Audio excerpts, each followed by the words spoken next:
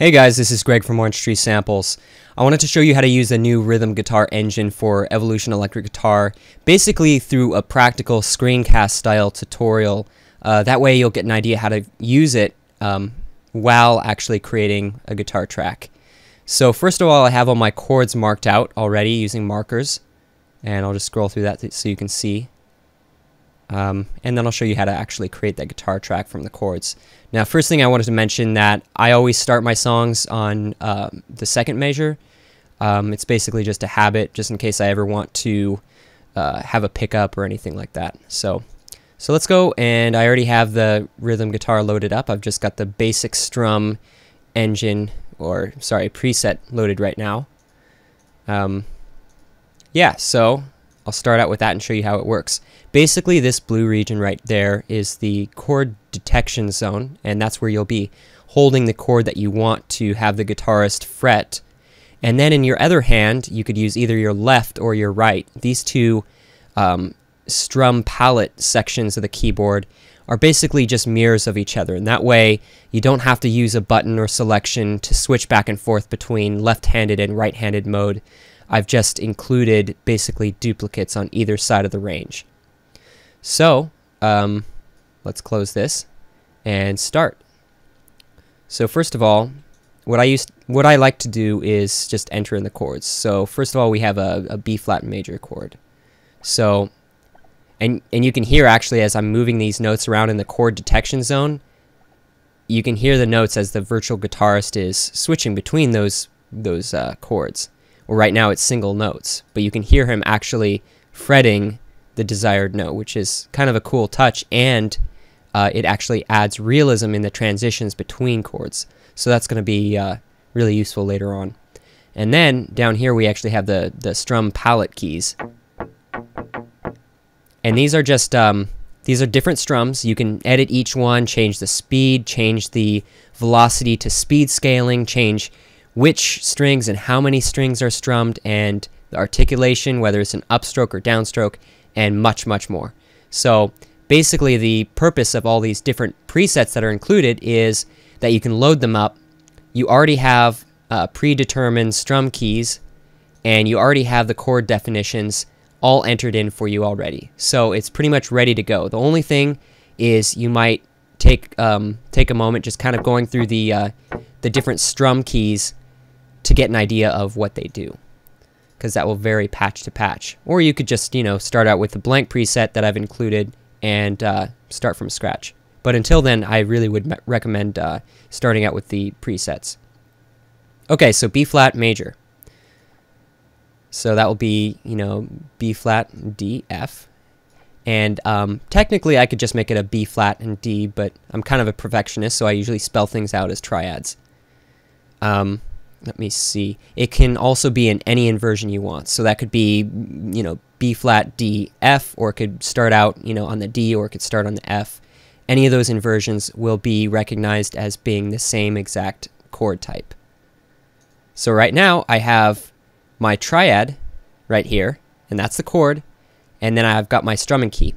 Now when no chord is selected, the strum key will actually just play muted notes because guitarists tend to mute the chord, um, or actually when there's no chord playing, they're going to mute the open strings. So let's hear what this sounds like. So we have just a basic B flat chord. And now we can uh, start programming our strum pattern.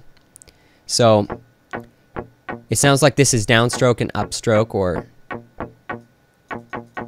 yeah, that's what it that's what it looks like. And in fact, we can actually go in and check. So here's the C, it's a downstroke, and here's an upstroke. You can see it starts on the very highest string and goes down.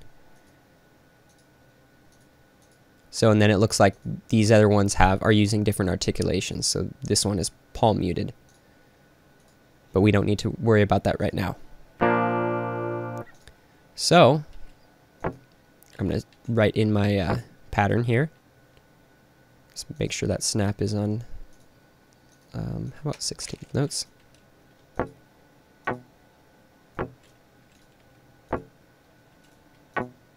And generally, um, all the upbeats are upstrokes and all the downbeats are downstrokes. Um, strumming on guitar is actually quite simple until you get into more complicated um, triplet strums and stuff like that. Um, but basically, your hand is just going up and down, whether or not you're strumming or not. So it's pretty constant. And now we can vary the velocity to um, give a little more life to that pattern. So let's try this out. See how easy that is? So um, basically, we can just take that and um, copy it, duplicate that there, and then we can enter in the rest of those chords. So now here's an A flat chord. So that'll be A flat, C, E flat. And what I like to do is, because on guitar you can't instantaneously go from chord to chord, so I like leaving a tiny little gap between those chords, and that way, if we play it, you'll actually hear the guitarist switch chords.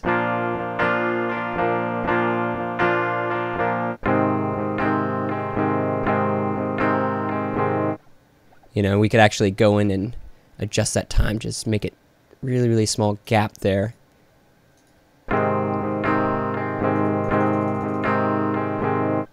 And then it goes to an E flat. So it'll be E flat, G, B flat. We can just copy that same pattern, you know, or we could eventually vary it, but I'm trying to keep it short due to time restrictions of YouTube. I think it's like 10, 12 minutes or something like that. And then down to a D minor.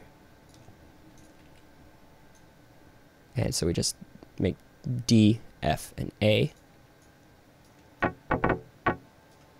Or actually that's a D minor 7, so I'm going to add in C. Now I could add in the C right here below the D, or I could add it above. Like I said, you can have them in pretty much um, any inversion you want. And now here's C. So usually when I write, I just kind of uh, disregard any of the inversions and just kind of write what's closest. And uh, so basically that's how it works. And I could go and I could write in the rest of those chords, but pretty much all I'm doing is just copying, pasting, and changing the notes. Um, right here, these chords that I've picked, I just wanted to mention this is the last note. These chords right here, B flat, A flat, and stuff, those are not um, the most uh, readily ab available chords on the guitar. You're going to end up using, uh, you know, uh, barred chords or something like that to access those.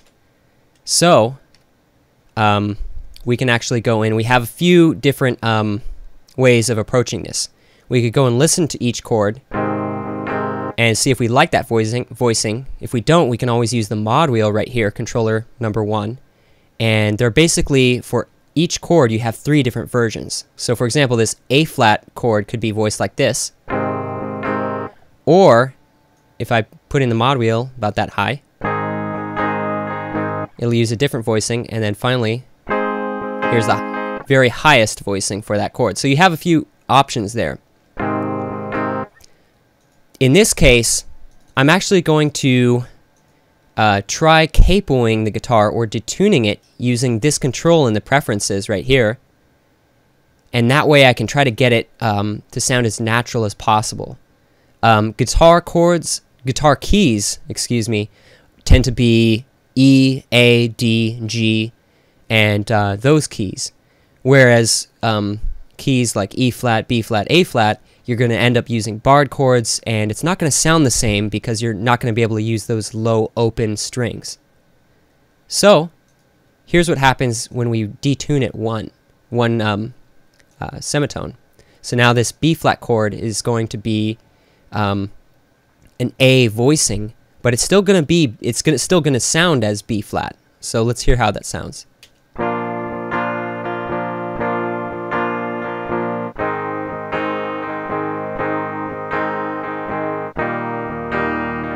You can hear that low E flat there.